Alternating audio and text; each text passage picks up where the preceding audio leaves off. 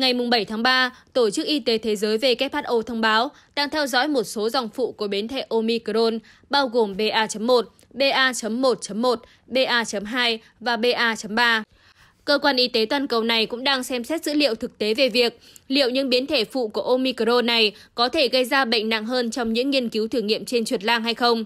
Chuyên gia hàng đầu về bệnh truyền nhiễm của WHO, bà Maria Van Kerkhove cho biết, Omicron vẫn là một biến thể đáng lo ngại và WHO đang theo dõi một số dòng phụ của biến thể này. Những dòng phụ nổi bật nhất của Omicron được phát hiện trên toàn thế giới là BA.1, BA.1.1 và BA.2. Ngoài ra, còn có BA.3 và các dòng phụ khác, bà kirkover nói. Để biết thêm về dòng phụ BA.3 của Omicron, WHO đã tiến hành một nghiên cứu có tiêu đề sự xuất hiện của biến thể phụ BA.3 và tầm quan trọng của nó, trong đó lưu ý các cơ quan y tế toàn cầu nên lưu ý tới biến thể phụ này. Nghiên cứu này cho thấy cả hai dòng phụ BA.1 và BA.2 khác nhau về protein gai, nhưng không có đột biến cụ thể nào đối với protein gai của BA.3 trong protein đột biến. BA.3 là sự kết hợp của các đột biến trong protein gai của BA.1 và BA.3. Cả ba dòng phụ này được phát hiện lần đầu tiên vào cùng thời điểm và cùng được ghi nhận ở khu vực miền Nam châu Phi. Theo đó, BA.1 ở Botswana, BA.2 ở Nam Phi và BA.3 ở Tây Bắc Nam Phi. Do đó, các virus phát triển đồng thời và từ cùng một nơi có cơ hội lây lan trên toàn thế giới như nhau, nghiên cứu chỉ ra. Mặc dù cả ba dòng biến thể phụ đều lan rộng trên toàn thế giới, nhưng tốc độ lây lan của ba dòng này là khác nhau. Nghiên cứu cho thấy rằng trong số ba dòng biến thể phụ này, chỉ có BA.1 lại chiếm ưu thế hơn nhiều so với các dòng khác, là có thể vì do sự khác biệt về đột biến trong protein gai cần thiết để truyền virus xâm nhập vào tế bào chủ. Nghiên cứu của WHO cũng chỉ ra cách nhận thức lây nhiễm của BA.3. Theo đó, dòng phụ này có 33 đột biến trong protein gai, 31 đột biến tương tự với dòng BA.1, BA.3, gây ra số ca mắc thấp nhất trong 3 dòng phụ. Vì vậy, nguyên nhân dòng BA.3 lây lan thấp nhất và khiến số ca mắc thấp hơn là do mất 6 đột biến từ BA.1 và có 2 đột biến từ BA.2. Nghiên cứu nêu rõ cho đến nay, biến thể Omicron vẫn được cho là gây ra bệnh nhẹ, nhưng cũng có thể phát triển một số đột biến khiến người mắc bệnh diễn tiến nặng.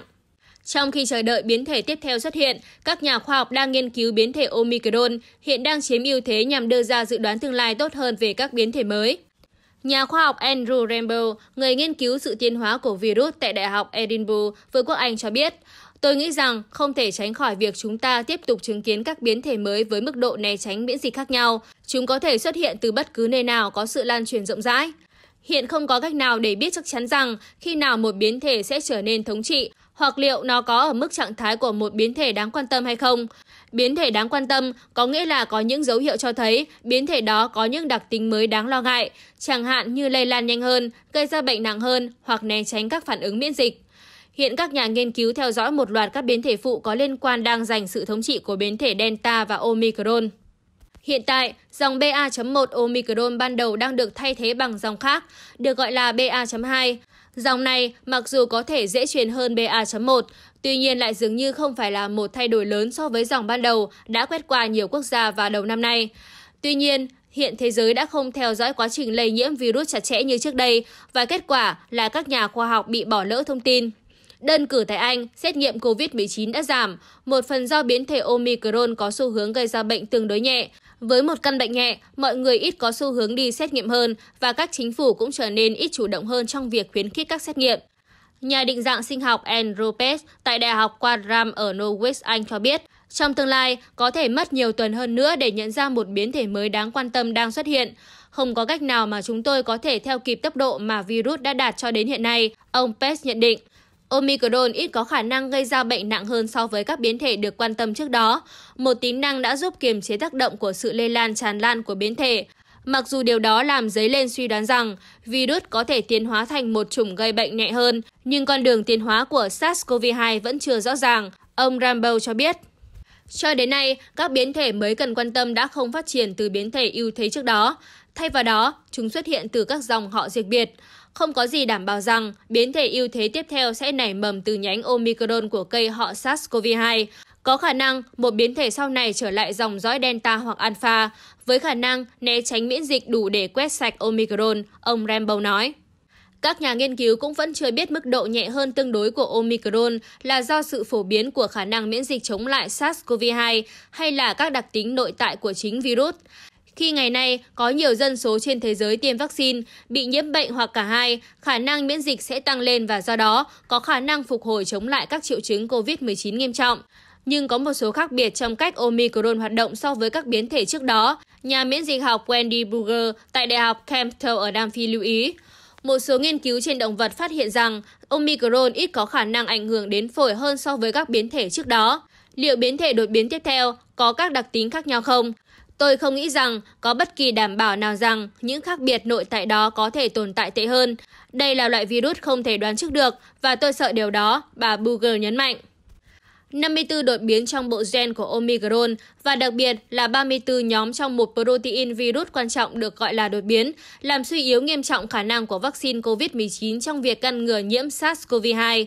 Nhưng khả năng bảo vệ khỏi bệnh nặng của vaccine dường như vẫn ở mức cao và có lẽ đã góp phần gây ra bệnh ở thể nhẹ do Omicron gây ra. Theo bà Buger, đó là báo hiệu tốt cho khả năng phục hồi của hệ miễn dịch qua trung gian vaccine chống lại các biến thể đáng lo ngại trong tương lai.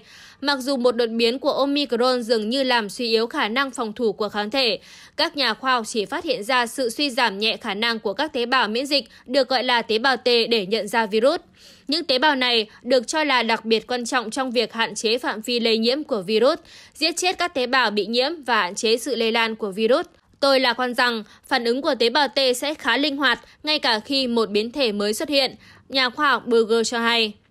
Nhưng bà Burger cũng lưu ý khi các kháng thể trở nên ít phù hợp hơn với khả năng miễn dịch SARS-CoV-2 và tế bào T trở nên quan trọng hơn, thì một biến thể virus có thể trốn tránh sự giám sát của tế bào T sẽ có lợi thế sống sót chính. Phản ứng của tế bào T đang thực hiện nhiều công việc nặng nhọc hơn. Vì vậy, một điều mà chúng ta có thể bắt đầu thấy là sự thoái ra của virus khỏi tế bào T, bà Buger nói. Ở các virus khác, chẳng hạn như cúm, khả năng thoát khỏi khả năng miễn dịch của tế bào T phát triển dần dần trong suốt nhiều năm. Nhưng thật khó để dự đoán nó sẽ diễn ra nhanh như thế nào giữa một đại dịch đang hoành hành. Các nhà miễn dịch học cũng trở nên khó khăn hơn trong việc dự đoán cách thức miễn dịch quần thể sẽ hình thành diễn biến của đại dịch, vì các động cơ của miễn dịch đó ngày càng phức tạp. Mọi người có thể đã nhận được một trong một số loại vaccine hoặc kết hợp các loại vaccine hoặc bị nhiễm trùng từ một hoặc nhiều biến thể, có hoặc không có vaccine. Sự tích tụ tiếp xúc với các biến thể SARS-CoV-2 sẽ tăng cường khả năng miễn dịch. Chuyên gia bệnh truyền nhiễm Santiago Avila Rios tại Bệnh viện Đường hô hấp quốc gia của Mexico ở thành phố Mexico cho biết, Ông Rios và các đồng nghiệp nghiên cứu thấy rằng việc nhiều lần phơi nhiễm với SARS-CoV-2 thông qua tiêm chủng hoặc nhiễm trùng, phản ứng của kháng thể sẽ khuếch đại, cũng như phản ứng của các tế bào miễn dịch được gọi là tế bào B2. Do đó, khi ngày càng có nhiều người tiếp xúc với virus thông qua các cơ chế khác nhau, thì sự xuất hiện của các biến thể mới đáng lo ngại có thể tạo ra gánh nặng bệnh tật thấp hơn, ông riot giải thích. Nhưng một số kiểu tiếp xúc có thể tốt hơn những kiểu khác để chuẩn bị cho cơ thể chống lại các biến thể mới.